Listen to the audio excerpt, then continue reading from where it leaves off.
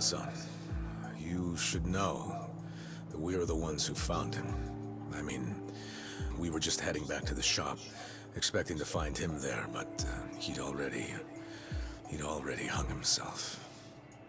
So what I like about what this game is doing is that they're kind of establishing like how the characters behave. So Adachi being an ex-policeman, it makes sense for him to be the uh, bearer of bad news. That's my son playing on my stomach.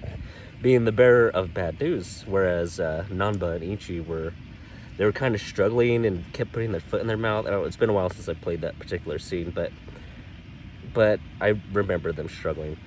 And uh, so yeah, I think that's pretty cool that they're doing that with the characters. How would you handle news like that? Would you be appreciative of like somebody just like telling you, and he he didn't say it rudely, he just told her like, you know, we were the one who found him, blah, blah, blah, blah, blah.